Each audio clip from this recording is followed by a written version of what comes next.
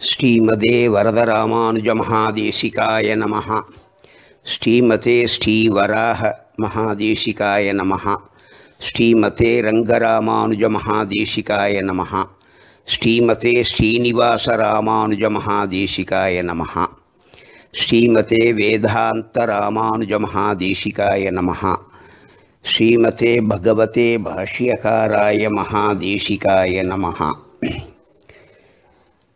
श्रीविष्णुचित्तकुलनन्दनकल्पवल्लीं श्रीरङ्गराजहरिचन्दनयोगदृश्यां साक्षाक्षमां करुणया कमलामिवान्यां गोदामनन्यशरणः शरणं प्रपद्ये।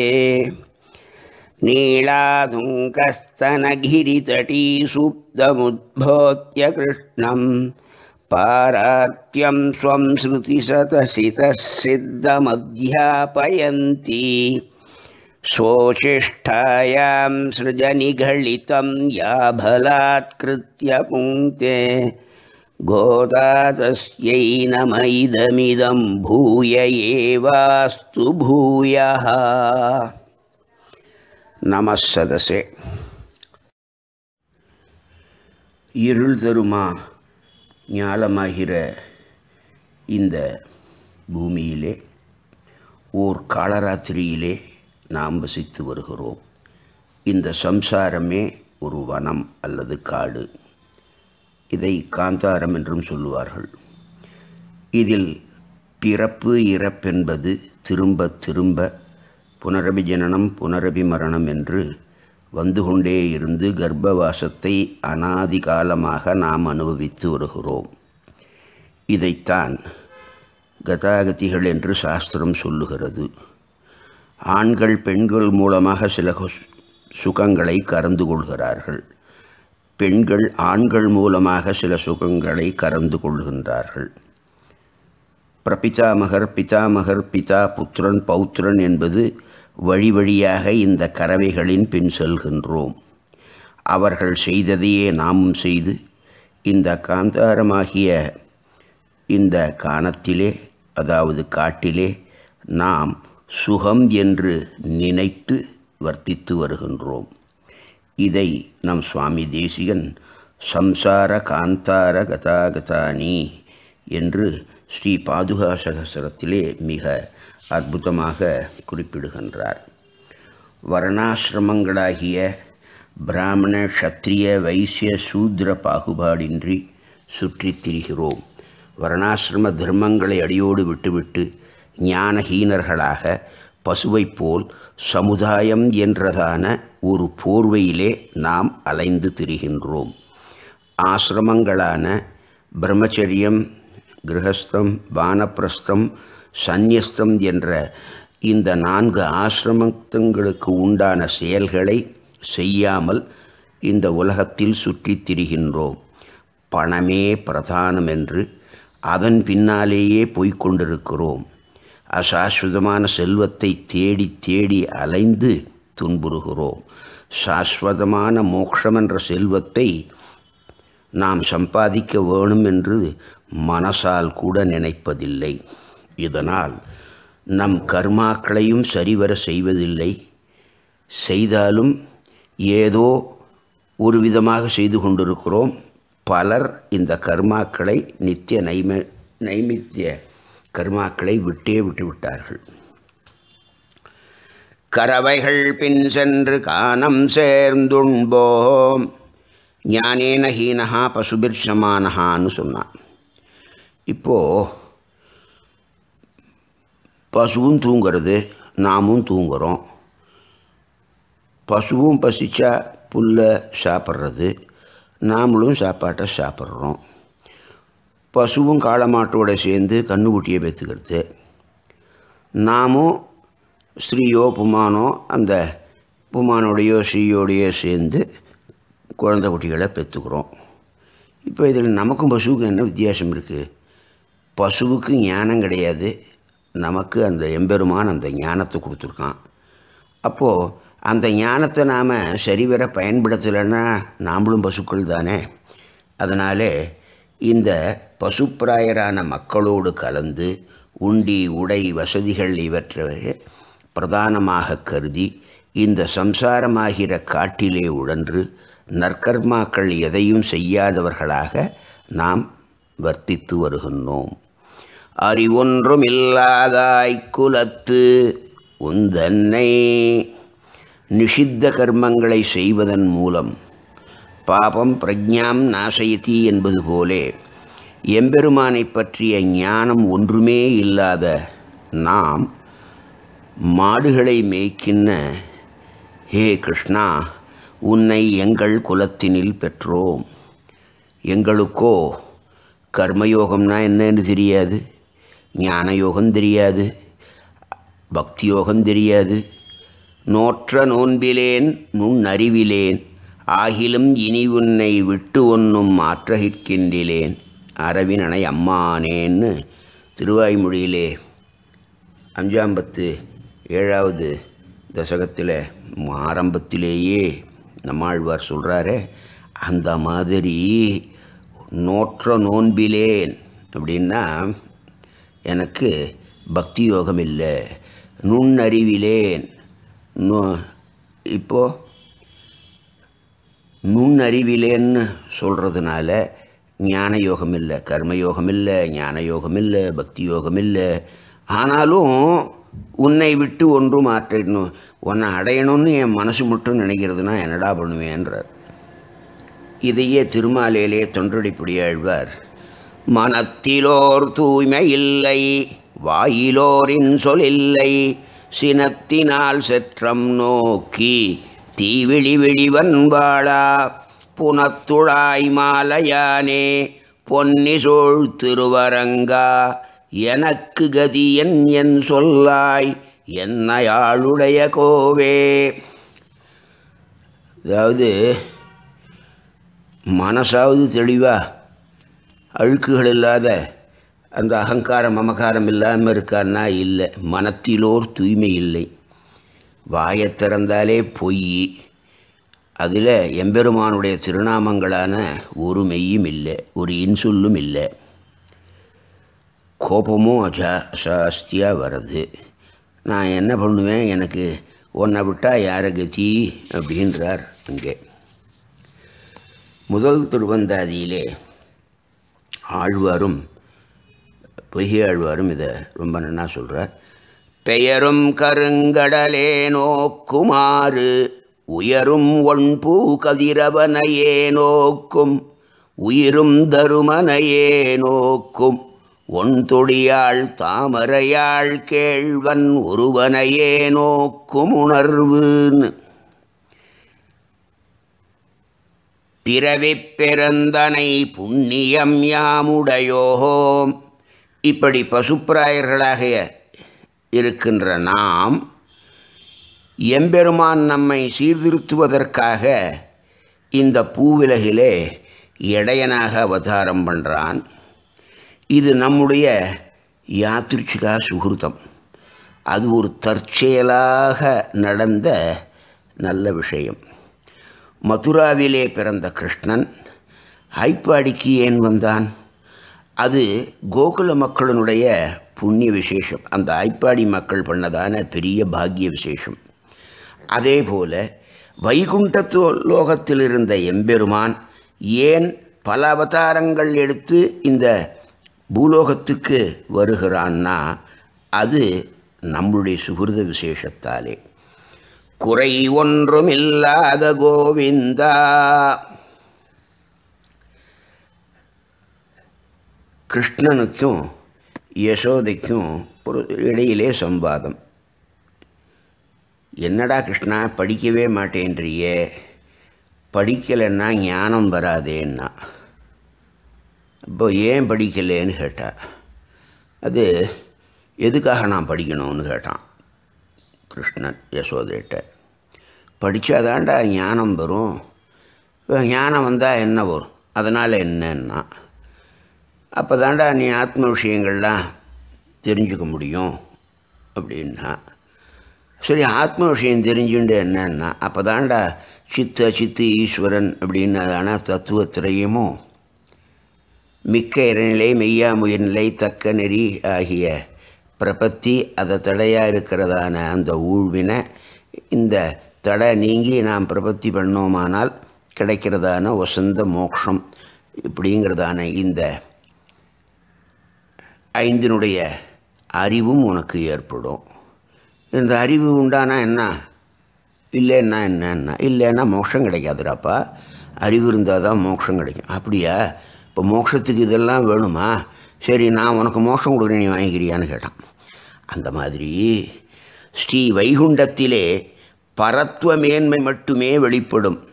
வாத்சல்ய சௌலபிய சௌசீல்யாதிகளுக்கு அங்கே குறையுண்டு அந்த குறை நீங்குவதற்காக இங்கே பகவான் கிருஷ்ணனாக வந்து அவதரித்தானாம் தூது போனான் சாரத்தியாதிகளை பண்ணா சாரத்தியானா தேரோட்டினா. அதுக்கப்புறம் யசோத கட்டினா உரல்ல கட்டுண்டான். இப்படி எம்பெருமான் அங்கே வைகுண்டத்தில் இருந்த குறைய இங்கே பூலோகத்தில் வந்து நிவர்த்தித்தானாம் ராமாவதாரத்தில் மூணு குறை உள்ளதாக எம்பெரு நம்ம பூர்வர்கள் சொல்வார்கள். இந்திரன் புத்திரனான வாலியை கொன்று சூரிய புத்திரனான சுக்ரீவனுக்கு பட்டாபிஷேகம் பண்ணி வச்சார் ராமர். இந்த குறை தீர்றத்துக்காக கிருஷ்ணாவதாரத்திலே சூரியபுத்திரனான கர்ணனை கொல்வித்து இந்திரபுத்திரனான அர்ஜுனனுக்கு அபிஷேகம் பண்ணார். இப்போ அந்த குறை தீர்ந்துதா இதை விவேக சிந்தாமணிங்கிற கிரந்தம் முன்னோனை கொன்று பின்னோனை காத்த முதுபகை இவன் பிதா உறாமல் பின்னை கொண்டு கர்ணனை கொன்ற கௌஸ்துப கிருஷ்ணான்னு சொல்கிறது இது அந்த வாலியை கொன்று சுக்ரீவனுக்கு பட்டாபிஷேகம் பண்ணது. அதனால் என்ன? என் பிள்ளைய கொன்னுட்டியே அப்படின்னு இந்திரனுக்கு ஒரு கோபம் வருமா வராதா? அந்த கோபத்தை அந்த எந்த சூரியபுத்திரனான சுக்ரீவனுக்கு வாலியை கொன்று பட்டாபிஷேகம் பண்ணி வச்சானோ அந்த மாதிரி இங்கே அதுக்கு எதிரிடையா? சூரியபுத்திரனான கர்ணனை அர்ஜுனாலே கொல்லும்படி பண்ணி இந்திரபுத்திரனான அந்த அர்ஜுனனுக்கு பட் அவன் ராஜ்யபாரம் பண்ணி வச்சான் அப்படின்னு. இது முதல் குற்றம். இரண்டாவது குறை என்னென்னா அசோகவனத்தில் சீதை ஆஞ்சநேயரோட பேசின்றா. அப்போ கேட்குறா ஒரு வானரமான நீ எப்படி இவ்வளவு பறந்து விரிந்திருக்கிற கடலை களைந்து எப்படி வந்தாயின்னு கேட்டார் அப்போது ஹனுமன் சொன்னார் நான் ராமனால் தூதுவனாக அனுப்பப்பட்டேன். இப்போது தூதுவனாக யார் அனுப்புவா? கொஞ்சம் கல்வி கேள்விகளிலே குறைந்தவனாகவும் புத்தி கொஞ்சம் அவ்வளவா இல்லாதவனை தான் தூதுவனாக அனுப்புவா.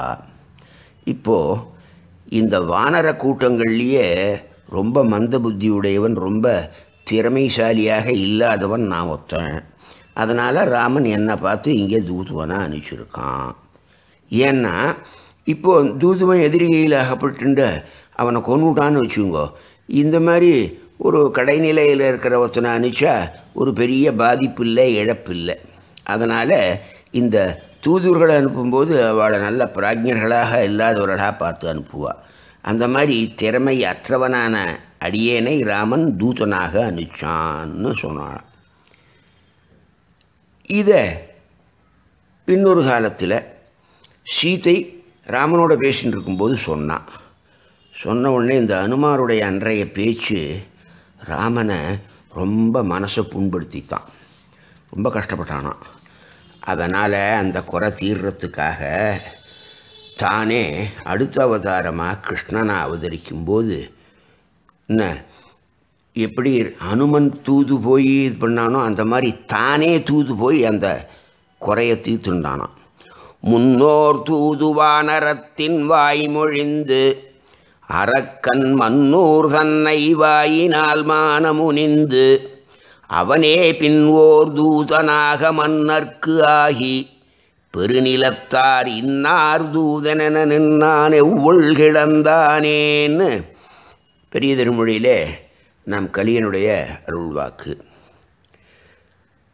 இது ரெண்டாவதான குறை. அந்த துறை தீர்றத்துக்கு ஹனுமனை தூதுவனை அனுச்ச குறை தீர்றத்துக்கு தானே பாண்டவர்களுக்கு தூதுவனாக அஸ்தினாபுரம் போனான் பகவான். ராமாயணத்தில் மூணாவது குறை. அது அந்த சீதாராம சம்பாதத்தினாலே தெரிகிறது. சொன்னால் என் இப்போ யாராலுமே செய்ய முடியாததான நீ கண்ணால் பார்த்துட்டு இருக்கும்போதே அந்த ஜனஸ்தானத்தில் கரதூஷனாலான பதினாலு பேர்களை ஒரு அர்த்த முகூர்த்தத்துக்கு கொஞ்சம் நாழிக்கு மேலாலே எல்லாரையும் முடித்தேன் பார்த்தியா நான் ஒருத்தனாவே? இப்போயாவது என் வீரத்தை ஒத்துக்கிறியா? ராவணனை நான் ஒத்தனா என்ன? ராவணனா சுமரிச்சேனா இல்லையா? அப்படின்னு அவளுக்குள்ளே பேச்சு வந்துதான். அப்போது நீ ராவணனை கொன்னது பெருசு இல்லை. நான் அவனாலே அந்த அசோகவனத்திலே சிறை வைக்கப்பட்டேனே அதுதான் சிறந்தது. அதனால தான் இன்னி வரைக்கும் ராமாயணத்தை சொல்லும்போது சிறையிருந்தவளின் ஏற்றத்தை சொல்லுமாம் ராமாயணம்.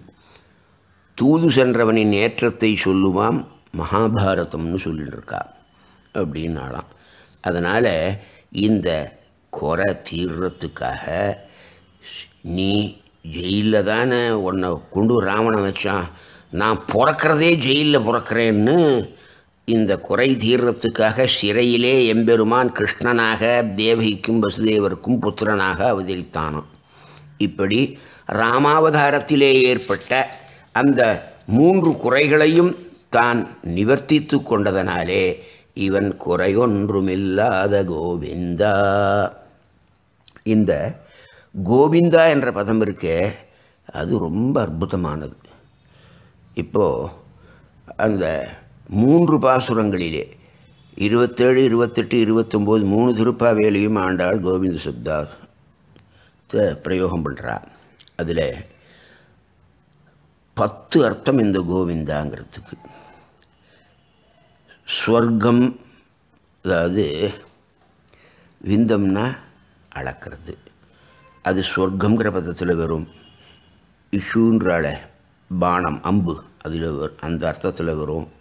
பசுன்னு அர்த்தம் வாக்குன்னு ஒரு அர்த்தம் வஜ்ரம்னு ஒரு அர்த்தம் திருக்குன்னு ஒரு அர்த்தம் நேத்திரம் கண்ணுன்னு அர்த்தம் கிரணம் அந்த ரேஸ்ன்னு சொல்கிறோமே அது. அப்புறம் இந்த பிருத்திவியாகிய பூமி ஜலம். இத்தனையும் பத்து அர்த்தம் உண்டு. ஆனால் கோங்கிற பதத்துக்கு அறிவு விதுன்னு பேர். லாபம் இருப்பு விசாரம் பசு பூமி இப்படி பல அர்த்தங்கள் அந்த இதுக்கும் இருக்குது அதனால் இவ்விதம் பத்து அர்த்தங்களை நம் பூர்வர்கள் இந்த கோவிந்த சப்தத்துக்கு அன்வயப்படுத்தி காட்டினார்கள். இந்த கோவிந்த நாமத்தின் ஏற்றத்தை இந்த இடத்திலே ஆண்டாள் குறிப்பிடுகிறாள். ஆண்டாள் அழைக்கும் சிறு பெயர் அந்த கோவிந்தனே. திரௌபதியின் சங்கசக்கர கதாபாணே துவாரகா நிலையாச்சுத புண்டரீக கோவிந்த புண்டரீக சுமாம் சரணாகதாம்னு சொன்னாலே அதனாலே இந்த திரௌபதியினுடைய கோவிந்த நாம உச்சாரணம் இருக்கே அது எம்பெருமானுக்கு கடன்பட்டார் நெஞ்சம் போலே கலங்கியதாம். அவன் நெஞ்சத்தை அப்படி கலக்கித்தான் அது. இதை கடைசியில் அந்த ஸ்ரீமத் பாகவதத்தில் துவாதச கிரந்தத்தில் சொல்கிறார் புத்தவர் மடியில் தலையை வச்சுட்டு இப்போ தன்னடி சோதிக்கு ஏழ போகிறார் கண்ணில் தார தாரையாக ஜலம் பெறுகிறது. ஏன் கிருஷ்ணா பாடற நீ தான் வந்த காரியத்தெல்லாம் முடிச்சுட்டியே. அவதாரத்தெல்லாம் இல்லை. இந்த சங்க சக்கர கதாபாணி துவாரகா நிலையா அச்சுதா கோவிந்தா புண்டரீகாட்சா ரக்ஷவாம் சரணாகதம்னு அந்த இதில் கதறினால அது இன்னும் என் மனசில் கேட்டுண்டே இருக்குது அந்த எதிரொலிச்சுட்டே இருக்குது அவளுக்கு நான் ஒன்றும் பண்ணாத போகிறேன் அவளை மகாராணி ஆகிவிட்டான். திரௌ தர்மபுத்திரன் ராஜான்னா இவராணி தானே. அப்படியெல்லாம் பண்ணிட்டோம் அது போரலன்னு மனசுக்கு எம்பெருமானுக்கு. அப்போது திரௌபதிக்கு புடவை சுரந்த திருநாமம் இந்த கோவிந்தாங்கிற திருநாமம். இப்போது சங்கல்பத்திலேயும் நாம் அஸ்ய ஸ்ரீ கோவிந்த கோவிந்த கோவிந்த மகாபுருஷஸ்ய விஷ்ணோராஜ்யா பிரவர்த்தமானஸ்யன்னு சங்கல்பம் பண்ணிக்கிறோமோனோ அதிலேயும் மூன்று தடவை இந்த கோவிந்த நாமத்தை நாம் உச்சரிக்கிறோம். ஒரு பொருளை தொலைச்சுட்டாலோ இல்லை எவனாவது நமக்கு திருப்பி கொடுக்கலனாலோ அதை என்ன சொல்கிறோம் அது கோவிந்தான்றோம். திருமலைக்கு போகிறா அங்கே போய் பெருமாளை சேவிக்கிறவா இந்த கோவிந்தா கோவிந்தா கோவிந்தான்னு மூணு தூரம் உச்சாரணம் பண்ணுறா நாம் எந்த வேலையில் ஒரு மாற்றம் ஏற்பட்டாலும் அதாவது நம்ம பண்ணுறோம் ஒரு மாதிரி பண்ணுறோம் அந்த பிள்ளையார் பிடிக்க குரங்காதுன்னு நம்ம என்னமோ நினச்சின்னு பண்ணும்போது இன்னொன்று என்னமோ ஆச்சா அது என்னடா கோணக்கமானக்கு கோவிந்தாம்பா கிராமங்கள்லாம். அந்த மாதிரி அதுக்கு கோணகமானக்கும் கோவிந்தான்னு தான் பேர். ஆசமனத்தில் இப்போது கோவிந்த நாமத்துக்கு இருக்கிற ஒரு அதி முக்கியத்துவம் மற்ற திருநாமங்களுக்கு இல்லை. ஏன்னா ஆசமனத்தில் எந்த நாமமும் ரிப்பீட் ஆகாது. ஆனால் இந்த கோவிந்தம் மட்டும் அந்த பிராச்சன மந்திரத்திலேயும் அச்சுத அனந்த கோவிந்தன்னு இந்த மூணாவதாக நம்ம பிராச்சனம் பண்ணுறோம் அதே மாதிரி அங்கன்யாசங்கள்லேயும் கோவிந்தன் வருது. இப்போது ரெண்டு முறை இந்த கோவிந்தா என்ற ஒரே ஒரு திருநாமம் தான் வந்திருக்கே தவிர மற்ற எம்பெருமானுடைய எந்த திருநாமமும் வல்ல. இப்போது சாப்பிடும்போதும் கோவிந்தான்றான். இப்போ ஃபைனான்ஸ் கம்பெனியில் பணம் போட்டான் அந்த ஃபைனான்ஸ் கம்பெனி திவாலி ஆகிடுத்து இவனுக்கு பணம் கிடைக்கல. அப்போது இப்போது ஃபைனான்ஸ் கம்பெனி பணத்தை சாப்பிட்டு கொடுத்தா கோவிந்தாவா? அப்படின்றான்.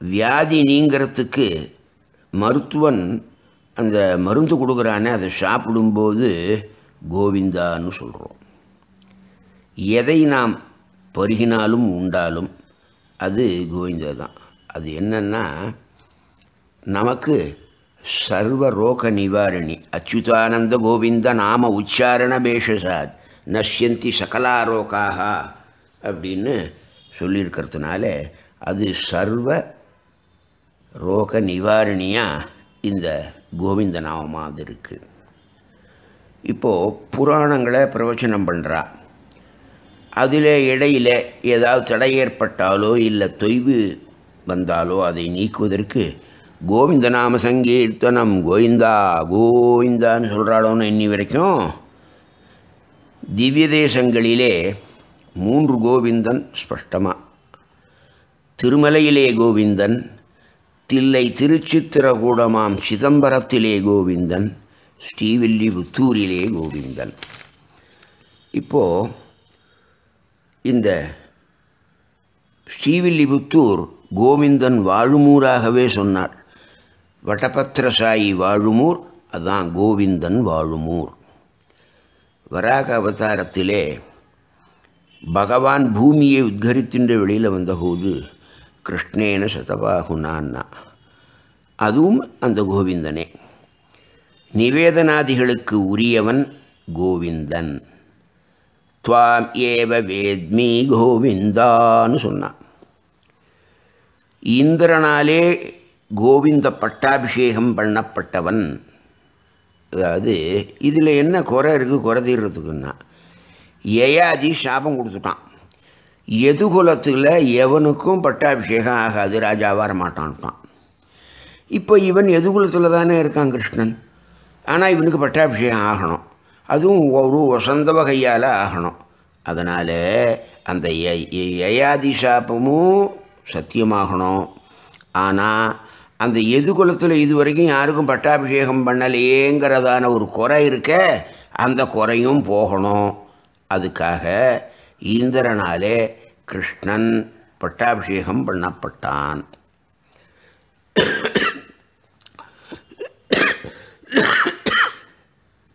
ஸ்ரீமத் ராமாயணத்தில் இந்த வசிஷ்டர் பண்ணி வச்சதான ராமனுக்கு பட்டாபிஷேகம் பண்ணி வச்சதாரு அது எப்படி இருந்ததுன்னா அது இந்திரன இந்திரனுடைய பட்டாபிஷேகத்தை போலே இருந்ததுன்றார் வால்மீகி.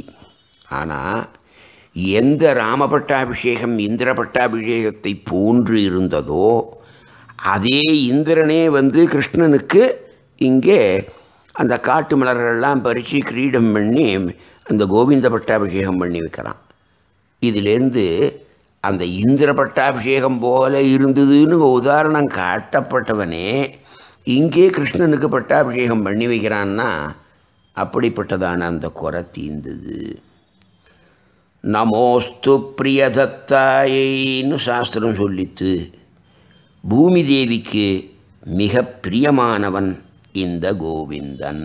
அப்படிப்பட்ட அந்த கோவிந்தன் தன்னோடு உறவேல் நமக்கிங்கு.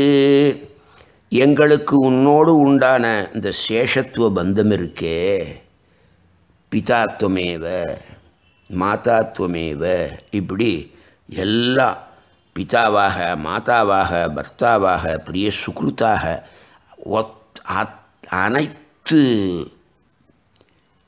பந்தங்களும் அவன் ஒருத்தருத்தே தான் இருக்கான். இப்போது இங்கே நமக்கு ஒரு சந்தேகம் வரும். ஒத்த எப்படி எல்லா விதமான பந்துத்துவத்தையும் கொண்டவனாக இருப்பான்னு. இப்போ ஒத்தனை உதாரணத்துக்கு எடுத்துப்போம்.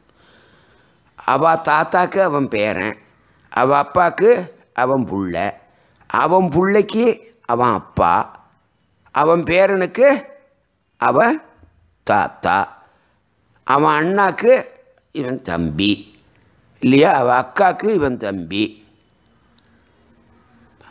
அவனுடைய இதுக்கு மாமா மருமா மச்சின இப்படி எத்தனையோ உறவு வருதே. ஒத்தந்தானே இவ்வளோ உறவு செய்யன்னு சொல்கிறீங்க அந்த மாதிரி எம்பெருமானும் ஒரு கேவலம் மனுஷனுக்கே இவ்வளோ உறவு வருதுன்னா எம்பெருமானுக்கு வராதா?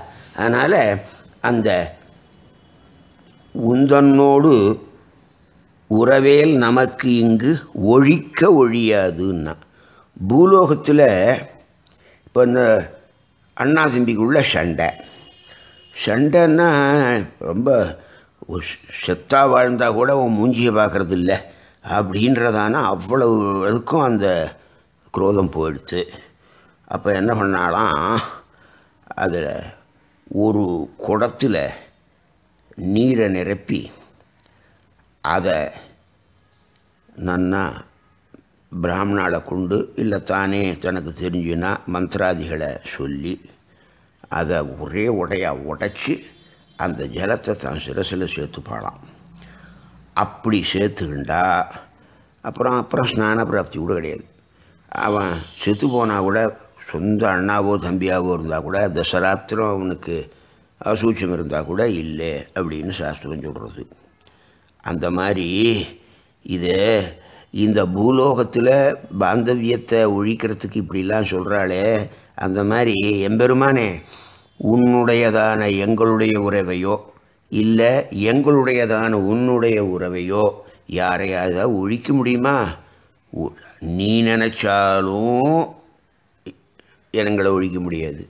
நாங்களே நீ வாண்டான்னாலும் எங்களாலையும் இருக்க முடியாது. அந்த நாராயண சப்தத்தினுடைய அர்த்தமே அதானே? இல்லையா? நாரங்களுக்கு அயனமாக இருக்கிறான். அந்த வெறும் இல்லைன்னா என்ன பண்ணணும்? இப்போ நாரா நாரங்கள் விட்டு கொடுத்தோம்னா அயனத்தை வெறும் அயன அயனம்னு சொல்லணும். நாராயணான்னு வராது. அதே மாதிரி அயனம் வேண்டான்னு இந்த நாரங்கள் நினச்சா கூட என்னாகும் நார நாரன் நாரின்னு இருக்க வேண்டித்தான் நாராயணுங்கிற எம்பெருமான் வரமாட்டான்.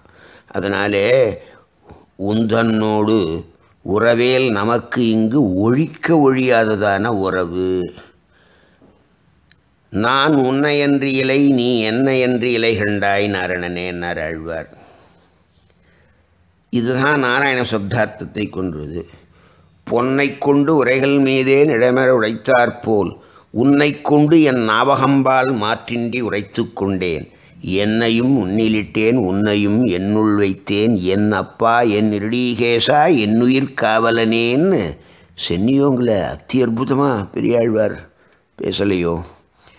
அறியாத பிள்ளைகளோம் அன்பினாலும் தன்னை சிறுபேரடைத்தனவும் சீரியருளாதே பகவானை எப்படி பெயரிட்டு அழைப்பது என்பதை கூட அறியாதவர்களான சேஷத்துவ ஞான சூன்யர்களான நாங்கள் அன்பின்பால் வயப்பட்டு கோவிந்தா என்ற சிறு பெயரை இட்டு உன்னை அழைத்தோம். அதனாலே நீ சீற்றத்துடன் அடியோங்களுக்கு அருளாமல் மகிழ்ச்சியுடன் எங்களுக்கு அருள் புரிவாயாகங்கிறதான பிரார்த்தனை. இப்போது அன்பின் வெளிப்பாட்டாலே வர்றதான வார்த்தைகளுக்கு அர்த்தம் கண்டுபிடிக்க முடியாது. இப்போது ஒரு குழந்தையவ அம்மா கொஞ்சிறா. ஏ பட்டுக்குட்டி செல்லக்குட்டி ஜிஜிலு குட்டி என்னென்னமோ சொல்கிறா அதுக்கெல்லாம் அர்த்தம் இருக்கா என்ன? அந்த மாதிரி அது அன்பினுடைய வெளிப்பாட்டினாலே வரதான அந்த வார்த்தைகளுக்கு அர்த்தமே கிடையாது. எம்பெருமானுடைய பரத்துவ மேன்மைகளை வெளிப்படுத்துகிறதான பல நாமதேயங்கள் இருந்தாலும் கூட இந்த கோவிந்தாங்கிற அந்த ஒரு திருநாமம் இருக்கே அதுதான் அவனுக்கு ரொம்ப பிடிக்குமா.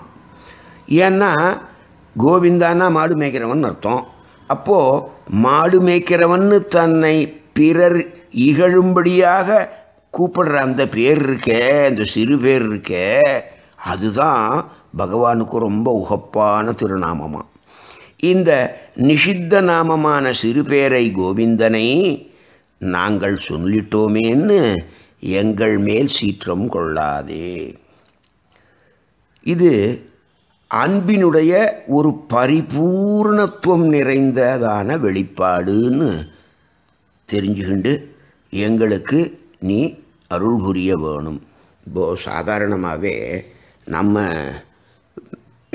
லவ் லௌகிகமாக கூட இந்த திருஷ்டாந்தங்களில் சொல்லலாம். இப்போ நம்மளோட ஹை ஸ்கூல் காலேஜ் வரைக்கும் படித்த நம்மளுடைய ரொம்ப திக்கஸ்ட் ஃப்ரெண்டு அதுக்கப்புறம் உத்தியோகத்துக்கு அவன் ஃபாரின் போயிட்டான். நம்ம இங்கே எங்கேயோ சென்னையிலேயே நமக்கு ஒரு நல்ல வேலை கிடச்சிது. நம்ம இங்கே இருந்தோம் அவன் ஃபாரின் இருந்தான் ஒரு பத்து வருஷம் கழித்து அவன் திடீர்னு ஃபோன் பண்ணான். அப்போ நான் யூஎஸ்லேருந்து வந்திருக்கேன் சென்னைக்கு. நான் உன்னை பார்க்கணுமே அப்படின்னா இவனுக்கு அவன் ஃபோன் வந்த உடனே அவ்வளவு சந்தோஷம். அப்போது சொல்கிறான் நீ பேசின்னு இருக்காத நேராக கிளம்பி எங்கள் ஆற்றுக்கு வா. உனக்கு தான் தெரியுமே எங்கா எங்கள் ஆற்றுக்கு வா அப்படின்னா இல்லைடா நான் வந்திருக்கிறது ஒரு வாரம் லீவில் அதுவும் என் மச்சினி கல்யாணத்துக்கு வந்திருக்கேன். அங்கே நாமளே ஏதாவது சொல்லுவாடா ஊர் சுற்றின்னு இருக்க முடியும். கல்யாணத்தில் அங்கே இருக்க வேண்டாமா? அப்படின்னா அதெல்லாம் என்ன பண்ணியோ தெரியாது. இன்னி ராத்திரி எங்கள் அத்தில் நீ சாப்பிட்றதுக்கு வர. இல்லைடா நான் தான் முடியாதுன்னு சொல்கிறேனடா உன்னை ஒரு நிமிஷம் இப்போ வந்து பார்த்து இதெல்லாம் கிடையாது. இப்போவா உன்னை வேண்டான்னு சொல்லலை. என்ன இந் இருந்து எங்களோட சாப்பிட்டுட்டு நீ போகணும். அப்படி மட்டும் நீ வராத போட்ட படவா உன்னை கொன்னே போட்டுருவேன்றான். இப்போ அவனை கொல்றதுக்கு அவன் இருக்கான். அப்படின்னா என்னாச்சு? அந்த அபரிமிதமான அன்பினுடைய வெளிப்பாட்டிலே அந்த சீற்றம் வெளிவருது இல்லையா? இப்போ உன்னை கொன்னே விடுவேன் எங்காத்துக்கு வரல என்னன்னு அர்த்தம்? அவன் வந்து அவ்வளவு பிரீசு கொடுத்தா இருக்கிறதுனால அவனை ரொம்ப உரிமையோடு எங்காத்துக்கு வந்து நீ ஷாட் கொடுத்தான் போகணும்னு சொல்கிறானோனோ அந்த மாதிரி இங்கே சீரியருளாதேன்னு அது அற்புதமாக ஆண்டாளுடைய ஒரு வார்த்தை பிரயோகம் இறைவா நீ தாராய் பறை ஹே சர்வேஸ்வரனே நீ எங்களுக்கு பறையாகிற கைங்கரியத்தை தந்து அருள வேணுங்கிறதான பிரார்த்தனை இதிலே சொல்லப்படுகிறது. இப்போது சீரியருளாதேங்கிறத ரெண்டு விதமாக வச்சுக்கலாம்னு நம்ம பூர்வர்கள் சொல்லிருக்கா அது அனுகிரக மூலமாக வருகிற தயை கோபம் மூலமாக வருகிற தயை. இப்போது ரெண்டுக்கும் என்ன வேறுபாடு? ஒருத்தன் தயாளுவாக இருந்தானா அவனை அனுகிரகம் பண்ணுவான் இல்லையா? அனுகிரகம் பண்ணுறதுனா என்ன? அவன் பாவம் கஷ்டப்படுறானே அப்படின்னா அவனுக்கு நிறையா பொன்னாலையும் பொருளாலையும் காசு பணம் கொடுத்தும். அவனுக்கு உதவி பண்ணுவான். அதனால் அது அருளுதல். இது தயையினுடைய மு- அனுக்கிரகமான தயை இது. கோப மூலியான தயான்னா ஒருத்தன் அவனுக்கு எல்லா இதுவும் இருக்குது இருந்தாலும் சோம்பேறியாக வேலைக்கு போகாத இது பண்ணா இருக்கான். இப்போ இவன் இவனுக்கு கொடுத்தான்னு வச்சுக்கோங்க சாப்பாட்டுக்கு. இவன் இதுதான் சாப்பாடு கிடைக்கிறதேன்னு இன்னும் ஜாலியாக இருப்பானே தவிர ஒரு வேலை வெட்டிக்கு போய் நம்மளை நாம் காப்பாற்றிக்கணுங்கிறதான அந்த அக்கறையெல்லாம் வரப்போகிறதில்ல அவனை ரெண்டு அடி விட்டு என்ன என்னடா வந்து பிச்சைக்காரன் மாதிரி கேட்குற வெக்கமா இல்லை உனக்கு? அப்படின்னு என்னை விட உன்னை விட நான் அறிவில் எவ்வளவு இதுவேன் நம்ம ரெண்டு பேரும் படித்தப்போ நீ ஃபஸ்ட் மார்க் வாங்கிட்டு வருவேன் நான் ஏதோ பாஸ்ன்னு பண்ணால் போகிறோன்னு பார்டரில் பாஸ் பண்ணிட்டு வருவேன் அப்படிப்பட்டவன் நீ வந்து எங்கிட்ட வந்து கேட்குறிய உனக்கு வெக்கமாக இல்லைன்னு? அவனை வெறி ஏற்றி அவனை கோபப்பட வச்சு அவனும் ஒரு நல்ல வேலை தேடிண்டு இவனை மாதிரி ஒரு நல்ல நிலைமைக்கு வரும்படியாக பண்ணுறானா இல்லையா? அதனால தான் அது கோபத்தின் மூலமாக வருகின்றதான் அது ஒரு தயதான் அதில் ஒன்றும் சந்தேகமே இல்லை. அடியேனின் ஆச்சாரியர்களான ஸ்ரீமத் திருக்குடைய குடந்தை ஆண்டவனும் ஸ்ரீமத் வரதராமானுஜ மகாதேசிகன்கிறதான அந்த இஎஸ் மைசூர் இஎஸ் வரதாச்சார சுவாமியும் இந்த பாசுரத்துக்கு அந்த சுவாபதேச அர்த்தம் சொல்லும்போது வெவ்வேறு ரெண்டு விதமான அர்த்தங்களை சொல்லுவாள் அதையும் சுருக்கமாக இப்போ கொஞ்சம் பார்க்கலாம். இப்போ திருக்குழந்தை ஆண்டவன் தான் முதல்ல எடுத்துட்டு கறவைகள் பின் சென்று காணம் சேர்ந்தும்போங்கிறதுனால இந்த கறவைகள்ங்கிறதுக்கு ஞானஹீனர்களான சம்சாரிகளான நாம் தாம் கறவைகள். அறிவொன்றுமில்லாத ஆத்ம ஞானமோ அதனடியாக வரும் பரபக்தி பரஜான பரமபக்தி இவைகள்லாம் ஒன்றுமே என்னென்னே தெரியாத நாம. ஆய்க்குலம் பக்தியோகத்தை அனுஷ்டிக்க தகுதியற்றவர்களான நாம் பிறந்த உன் தன்னை எங்கள் குறை தீர எங்களோடேயே இங்கு பூலோகத்தில் அவதாரம் செய்தருளி. அந்த வராக ஸ்ரீராம கிருஷ்ண சரமஸ்லோகங்களை வெளியிட்ட எம்பெருமானை குறை ஒன்றும் இல்லாத கோவிந்தா தனது வாத்சல்ய குணத்தினால் எல்லோரையும் ஆக்கர்ஷிப்பவனே இப்போது ஸ்ரீவைகுண்டத்தில் அந்த பரத்துவமான மேன்மை தான் மேலோங்கி இருக்கும் அங்கே இந்த வாசல்ய மார்தவ ஆர்ஜவ இதெல்லாம் இருக்காது. ஆனால் அதே அவதாரம் பண்ணி கீழே வந்தால் இன்னார் தூதனன்னான்னு சொல்லி இந்த தூத்து போனது சாரத்தியம் பண்ணது உரலில் அம்மாவால் கட்டி அடிக்கப்பட்டது இப்படி இந்த சௌசல்ய சௌலபியாதிகளெல்லாம் காமிக்கிறானே அதனாலே அந்த தனது வாத்சல்ய குணத்தினாலே எல்லாரையும் ஆகர்ஷிப்பவன் அந்த கோவிந்தன். உன் தன்னோடு ஒழிக்க ஒழியாது. உன்னாலும் என்னாலும் நீக்க முடியாததான இந்த சரீர சரீரி பாவ சம்பந்தம் இருக்கே. நீயா நினச்சாலும் என்ன வாண்டான்னு ஒதுக்கி தள்ள முடியாது. நான் நினச்சாலும் நீ வாண்டாம் எம்பெருமானேன்னு சொல்ல முடியாது. அதனால் அறியாத பிள்ளைகளோ அன்பினால் உந்தன்னை சிறுபேர் அழைத்தனவும் சீரியருளாதே. அதனால தான் உன்னை நாங்கள் கோவிந்தாங்கிறதான சிறு பெயரை இட்டு கூப்பிட்டோம். சீரியருளாதே சீற்றத்துடன் அருளாதே. ரொம்ப சிரிச்சுகிண்டே சாந்தத்தோட என்ன எங்களுக்கு அருள் புரிவாயாக? தண்டதரனாக முடியாததாலே நீ சீரியும் என்கிட்ட பிரயோஜனம் இல்லை அதனால் ரொம்ப சாந்தமாக சிரிச்சுக்கிண்டே நீ எனக்கு அருள்பாலி. இறைவா நீ தாராய் பறை. ஹே சர்வேஸ்வரனே எங்களுக்கு மோட்சத்தை கொடுத்து எங்களிடமிருந்து இந்த கைங்கரியத்தை நீ சுவீகரிக்க வேணாமோ? அதனாலே நீ எங்களுக்கு மோட்சத்தை கொடு என்றதான பிரார்த்தனையானது. இது சுருக்கமாக சொன்னேன். அந்த ஸ்ரீமத் திருக்குறளுடைய இது அப்புறம் அஸ்மதாச்சாரியன் வரதராமானுஜ மகாதேசிகனுடையதான இது. கறவைகள் வின் சென்று காணம் சேர்ந்துண்போங்கிறதுனாலே சம்சாரமாகிற சாகரத்திலே மூழ்கி அகிஞ்சனாயும் அனன்யமாயும் உள்ள நாங்கள் ஞான அனுஷ்டானமின்றி இருந்தாலும் கூட நீ கீதையிலே மாம் ஏகம் சணம்பிரஜன்னு சொன்னையே அத்தை கேட்டு நீ சொன்னபடி ஆச்சாரியாளிடத்தில் எங்களுக்கு அந்த சரணாகத்தின்னா என்னன்னு சரணாகத்தின்னு எழுதுறது கூட ஸ்பெல்லிங் தெரியாது.